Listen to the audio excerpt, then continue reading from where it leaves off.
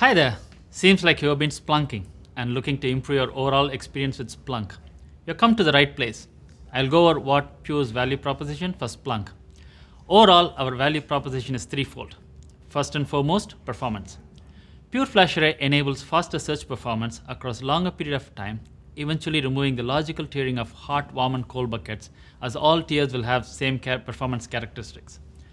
Pure FlashArray improves index ingest time significantly and eliminates storage being the bottleneck in the infrastructure stack. It enables to scale compute and storage independently as opposed to the challenges with the standard DAS implementation. The next one is capacity. Pure FlashArray gets better data reduction in the range of 2 to 1 and 3 to 1, meaning more capacity at your disposal. You can decide to ingest more data daily or keep data longer and still searchable. Pure Flash Array enables linear scalability of capacity and performance. We wouldn't be limited by our array model and we can go across arrays non-disruptively, enabling more capacity and performance. The third one is data services. Always on encryption enables encrypted data at rest for Splunk. Always on deduplication and compression helps reduce the data on top of Splunk's data reduction. Snapshot functionality for backups of Splunk index buckets. We recently published a reference architecture for Splunk on FlashStack. FlashStack is our converged infrastructure solution offering with Cisco. The FlashStack includes all infrastructure components like Cisco UCS blades, chassis, Cisco fabric interconnects, SAN and network switches, and of course pure flash array. The reference architecture includes three search heads in clustered mode, eight indexer in indexer clustered mode with replication factor of 3 and search factor of 2. As per Splunk's guidelines, 8 indexes would allow 2.4 terabytes to be ingested on a daily basis, but we are able to achieve 9 terabyte per day ingest rate with all indexes under 10% of CPU utilization, leaving abundant room for ad hoc and scheduled searches. Of course, this can vary based on your load and data type, but it's certainly achievable. As part of the reference architecture, we also tested a sparse search, more like a needle in a haystack, searching one event out of 7 billion events the search came back within 2 seconds. This is not the I.O. response time, rather end-to-end response time across all infrastructure stack, including Splunk's CPU cycles at searcher and indexer. The I.O. response time would have been under sub-milliseconds. The overall data reduction that we achieved during this test was 2.4 to 1 for the syslog type of data that we used. This is on top of Splunk's data reduction, which is a 2 to 1. It's almost 50% reduction. Happy to announce the Pure Storage app for Splunk Enterprise. This is now available in Splunk Base for Pure FlashArray customers to download. The Pure Storage app for Splunk Enterprise provides operational visibility for your IT teams in order to gain insights on the health and operation of the Pure FlashArray systems in your organization. The Pure Storage app provides various dashboards and detailed drill downs with detailed insights into your Pure FlashArray's inventory and performance data. If your organization uses Splunk for all your infrastructure monitoring and alerts management, you can now add Pure Flash Arrays to this framework once you install Pure for Splunk.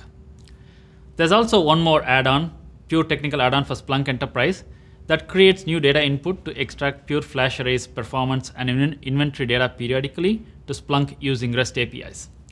We will now look into a demo of Pure Storage app for Splunk Enterprise. If you go to Splunk Base and search for Pure, you'll see these two apps, Pure Storage app for Splunk Enterprise and Pure Storage Technical add-on. Download them and go ahead and install it on your Splunk and restart it.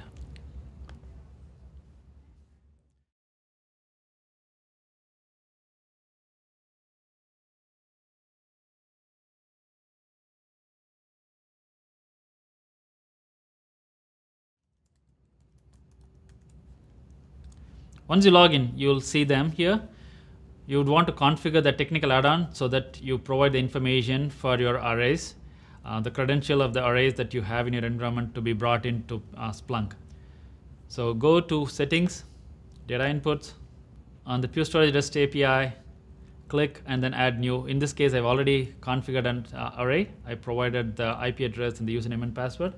Uh, but this is the place where you'll go and add new for all your uh, other array information that needs to be entered. Once done, it'll start ingesting data into Splunk and now the Pure Storage app will actually show more information about the data that it uh, captures. So we'll go into Pure Storage app here. This is where the fleet of all uh, Pure Flash arrays that you have in your environment will be shown. As I have only a single array, we see uh, information from that particular array. But if you have more than one array, you will see all those information here. The dashboard, the uh, home dashboard shows allocation information, the array information, the performance metrics, uh, the health map, like in terms of um, alerts that it received. And also you can select the arrays that you have and it will show more information about IOPS, latency, trends, and bandwidth trends as well, as you can see here.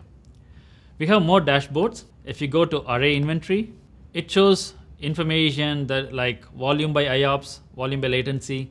So you can look for the volumes that are active in last 30 minutes or last one hour and it actually sorts them and shows those information which is very handy. If you go to log inventory, you'll have list of all the alerts that you received and also all the audit information, logins, REST API logins and all information is available here.